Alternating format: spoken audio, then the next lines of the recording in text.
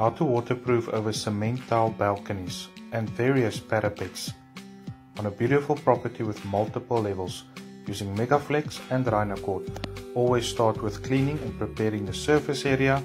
Apply two coats of Megaflex followed by two coats of Rhino Court, giving you a complete waterproofing system.